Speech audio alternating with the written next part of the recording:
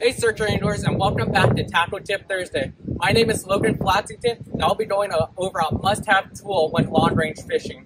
Here in my hands I have a spring scale drag setter that I like to bring on any trip with me. That way I can easily set my drag to a preferred number and I know exactly what my drag is at so I'm not guessing 15 pounds, 25 pounds.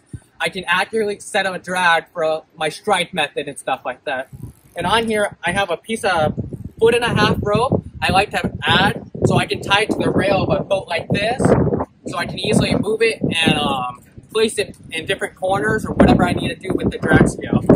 You can buy these drag scales on websites such as Amazon, Big Five, your average sporting goods store, and they run about 20 to 30 bucks per drag scale.